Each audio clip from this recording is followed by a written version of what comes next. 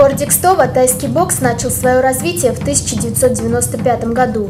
С 1999 года официально зарегистрировался спортивный клуб «Альтаир» по тайскому боксу. В 2006 году клуб переименовался в Кстовскую федерацию тайского бокса. На протяжении многих лет Кстовская федерация Муай-Тай сотрудничает со школой Олимпийского резерва, которая культивирует отделение тайского бокса с 2003 года.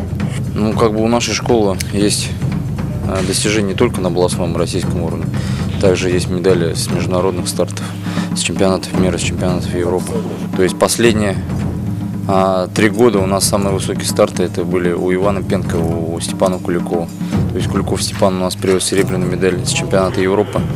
А Иван Пенко стал победителем чемпионата мира среди профессионалов.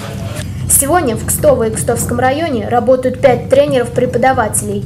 Тренер высшей категории Игорь Солопаев, а также тренеры, воспитанные Кстовской школой тайского бокса, мастера спорта, победители и призеры международных соревнований Иван Пентко, Александр Симак, Василий Гораль, Екатерина Крайнова.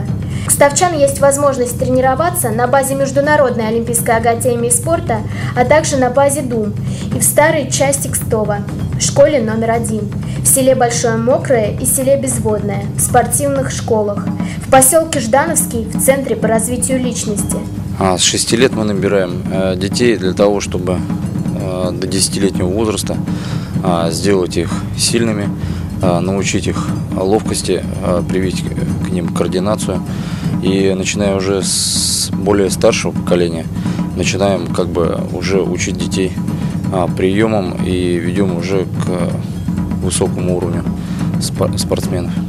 Кстовские тренеры по тайскому боксу подготовили 10 мастеров спорта России, 28 кандидатов в мастера спорта и более 40 спортсменов массовых разрядов. Как известно, что в жизни спортсмена э, многое делает не только как бы тренер, но и его родители. А, хотелось бы сказать спасибо тем родителям, которые принимают активное участие в воспитании своих детей.